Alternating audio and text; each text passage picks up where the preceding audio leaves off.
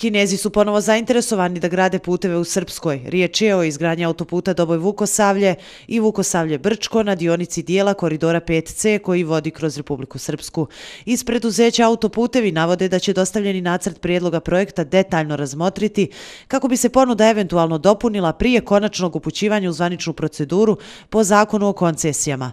Kako je rečeno, o cijeni projekta izgradnje ovih autoputeva još je rano da se govori.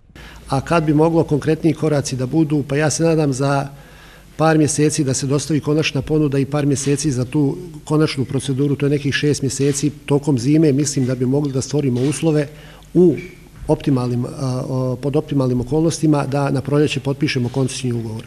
Što znači da bi onda mogli ući s jedne strane mi u ekspropriaciju, a s druge strane kineski partner u razradu projektne dokumentacije uz napomenu da ovdje za jednu dionicu već imamo gotovu projektnu dokumentaciju za koridor 5C, a za drugu dionicu Vukosavlje Brčko bi tek trebala da se radi, ali u svakom slučaju postoji mogućnost da se fazno planiraju aktivnosti pa i radovi na samom terenu. Predstavnici konzorcijuma kineskih kompanija koje predvodi Sinohem Kapital nadaju se da će se što prije doći do potpisivanja konačnog ugovora po današnjem potpisivanju Sajnekom korporacija će zajedno sa sve strane, sa svim stranama da zajedno uložiti na maksimalno napore da što pre realizujemo taj projekat i što pre da, da dođemo do zadne faze za potpisivanje zvaničnog ugovora da bismo što pre realizovali taj, te, ta dva projekta.